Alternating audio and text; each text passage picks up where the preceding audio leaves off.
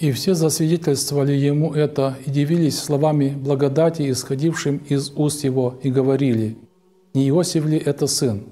Он сказал им, «Конечно, вы скажете мне присловие, врач, исцели самого себя, сделай и здесь, и твоем Отечестве то, что мы слышали, было в Капернауме». И сказал, «Истинно говорю вам, никакой пророк не принимается в своем Отечестве. Поистине говорю вам, много вдов было в Израиле в дни Илии, когда заключено было небо три года и шесть месяцев, так что сделался большой голод по всей земле. И ни к одной из них не был послан Илья, а только к вдове Сарепту Сидонскую. Много также было прокаженных в Израиле при пророке Елисее, и ни один из них не очистился, кроме Неймана Сирианина. Услышав это, все в синагоге исполнились ярости и, встав, выгнали его вон из города и повели на вершину горы, чтобы свергнуть его. Но он, пройдя посреди них, удалился. Сегодня нашему вниманию был предложен евангельский отрывок, повествующий о том, как Господь наш Иисус Христос был принят в городе своего детства, Назарете. В этом городе Спаситель рос. Здесь он жил около 30 лет, до тех пор, пока не вышел на общественную проповедь Евангелия. И когда он вернулся в свой родной город, его проповедь не имела там такого принятия, как в прочих иудейских городах. Несмотря на то, что, как говорит об этом в самом начале услышанного нами только что евангельского чтения святой апостол Евангелист Лука, все дивились словам благодати, исходившим из уст его. Данное удивление было вызвано вовсе не расположенностью к словам Христа, а как раз отношением к его личности. Все знали, кто он и чей он сын, кто его земные родители, и это знание не давало слушавшим переключиться на те слова, которые Христос пытался донести до своих соотечественников. Блаженный Феофилат Болградский, размышляя над данным текстом Евангелия, пишет, «Народ, слушая речь Христову, удивлялся словам благодати, удивляясь же, насмехался над ним, говоря, «Не этот ли сын плотника?» И в этом заключалась самая большая ошибка иудеев. Они смотрели на внешнее, а не на внутреннее. Для иудеев более важно было то, кем является человек, чем то, что он говорит. Неужели, спрашивает блаженный Феофилакт, сын плотника не может быть посланником Божьим? Неужели он не может говорить правильные и нужные слова? Именно такое отношение к сожалению и не дало возможности назарянам разглядеть в своем соотечественнике Христа и Спасителя мира. Жители Назарета обратились ко Христу практически с требованием «Сделай и здесь, в Твоем Отечестве, то, что мы слышали было в Капернауме». Однако это было невозможно по той причине, что жители Капернаума поверили во Христа, а жители Назарета этого сделать никак не могли в силу своих предубеждений. А там, где нет веры, там нет и чудес. Ведь если посмотреть на священную историю Ветхого Завета, сколько пророков так и не были услышаны своими современниками и земляками.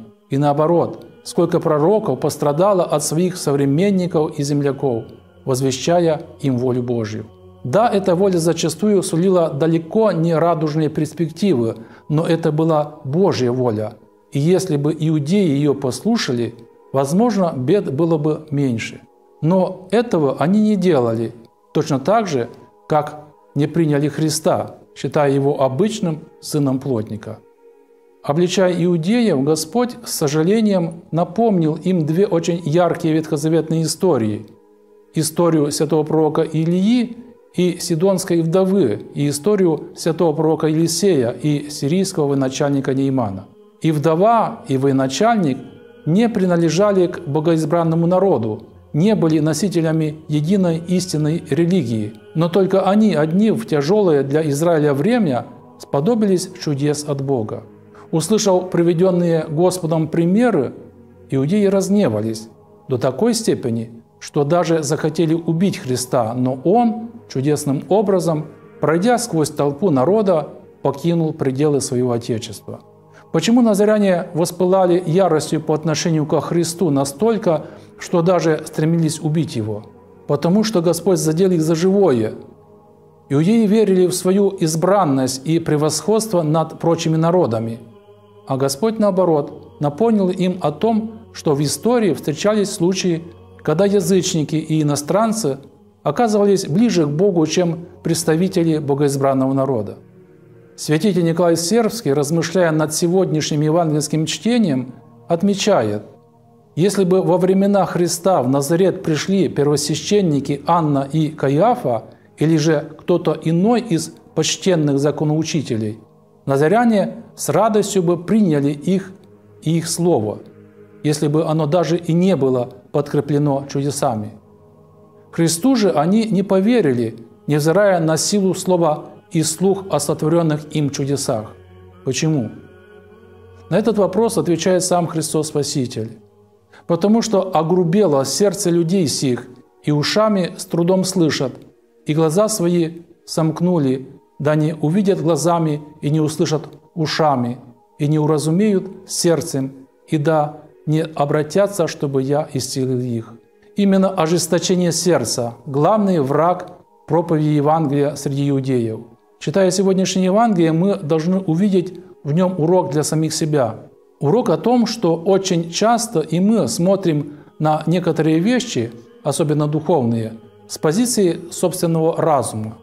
Мы желаем что-то понять своим несовершенным умом, тогда как требуется всего лишь принять ту или иную истину на веру, без всевозможных логических объяснений. Поступая так, мы рискуем уподобиться жестокосердным назарянам, которые в своем безумии и злобе чуть не дошли до богоубийства. Помня об этом, мы должны в духовной жизни полагаться не на немощный ум, но на силу веры, потому что, как говорит об этом святитель Игнатий Кавказский, человек, опирающийся на рассудок, не может быть причастником веры. А тот, кто лишен веры, никогда не сможет узреть главный – так сказать, ее объект самого Бога.